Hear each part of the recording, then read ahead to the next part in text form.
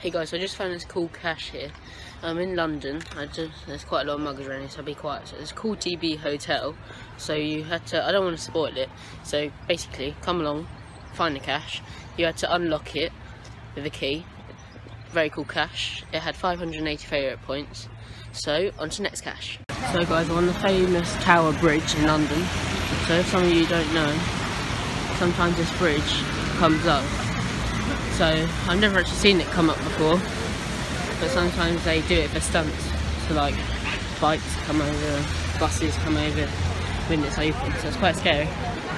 So it's quite high tide low tide not sure. But on to next cache hey guys it's Emily so I just found this quick cache it's behind that sign. So I'm on three caches now. I'm meant to be at 11 so I better start walking quickly.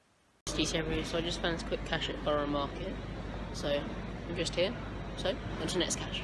Hey guys, G here. So I'm in London again. I just found this cool bag. I don't want to spoil it, but it's just in this rough area here. It's quite a cool cache. It's quite different. So yeah, you got to come and find it. So see you in the next one. Hey guys, so I'm in London again. Just found quite a cool cache. I've never found this before, but I've seen it for sale. It's quite a cover plate geocache, so the log just there.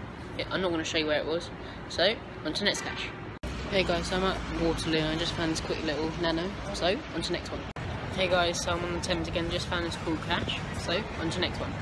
So guys, I just found this little nano, it was a church micro, so there's the church, and also, what is quite impressive is that's my last cache that I need to get for Planetary Pursuit, so I think I've now got 500 something just over. So I've now completed it, but I might find one more cache, but we'll see how much time we have. And if I do, I'll cache you there. So guys, I just worked out this cool cache. So it was just under here, and it was just there.